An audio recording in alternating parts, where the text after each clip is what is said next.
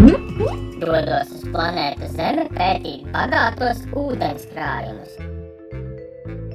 Juhu! Kas tas?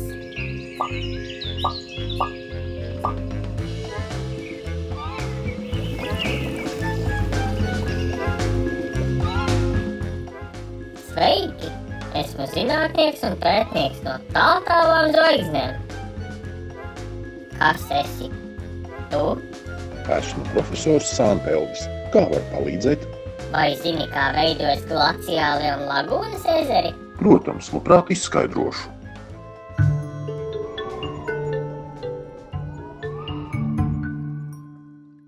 Pirms 12,000 gadu, mainoties klimatam, vietās, kur ledāji bija izveidojuši ezerdobes, tās aizpildīja izkusušie ūdeņi. Tā aptuveni 2000 gadu laikā izveidojās glaciālie vai ledus ezeri.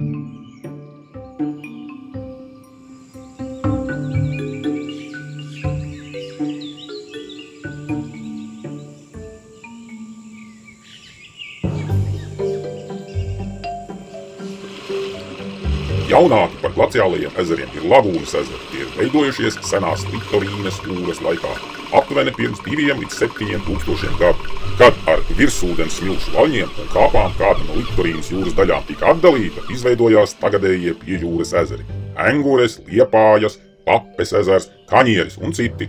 Tāpēc šie piejūras ezeri ir lieli, bet sekli, un tajos veidojas savdabīgas dzīvotnes. Paldies, profesors Antoni! Man laiks doties mājup. Atgriezīšos ar jauniem jautājumiem. Laimīgu ceļu, kolēģi!